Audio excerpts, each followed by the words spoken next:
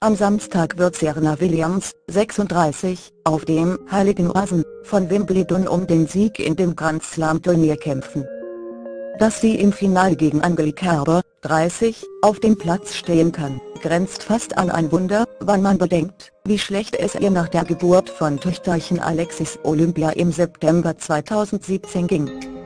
Im britischen Mirror erinnerte sich die Tennisspielerin an diese schwere Zeit zurück und offenbarte, dass ihr Zustand damals mehr als kritisch war. Es ist kein Geheimnis, dass ich eine superschwere Geburt hatte. Ich habe nach sagen wir mal vier Operationen aufgehört zu zählen, weil ich so viele Operationen überstehen musste. Es war beinahe schon tägliche Routine, dass ich mich einer neuen Operation unterziehen musste. Wegen all den Blutproblemen, die ich hatte, war es kurze Zeit wirklich sehr riskant. Ich hätte es fast nicht geschafft, blickt die 36-Jährige zurück. Eine Zeit lang hätte sie, kaum zu ihrem Briefkasten, laufen können. Nach der Geburt ihrer Tochter waren Blutklumpen in ihrer Lunge gefunden worden.